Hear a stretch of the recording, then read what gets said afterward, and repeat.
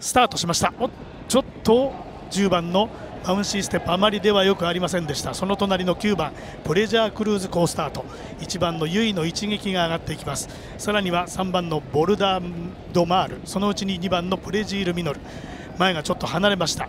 7番のアスクドリームモアその外に10番のバウンシーステップ内に4番のゴッドファーザー。これを見ながら8番のルルローズ。そして後方に6番のレッツリブオン。5番のレッドシベルトは最高峰からの競馬です。先頭から最高峰までが14、5馬身ぐらいあるでしょうか。ちょと縦長の展開前が飛ばしています。9番のプレジャークルーズ45馬身もうちょっとリードあるでしょうか。ちょっとここで抑え加減です。34秒2で前半の 600m を通過していきました。2番手は1番のユイの一撃。その後は3番のボルダ・ドマールと2番のプレジール・ミノル。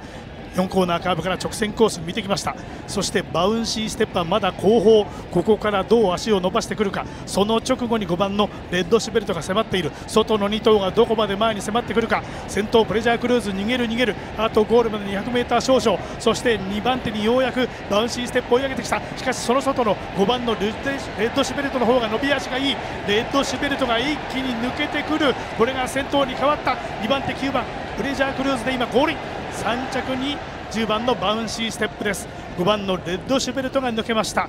タイムは1分20秒6 5番のレッドシュベルト前走に続いての2連勝です。バウンシーステップ勝利なりませんでした。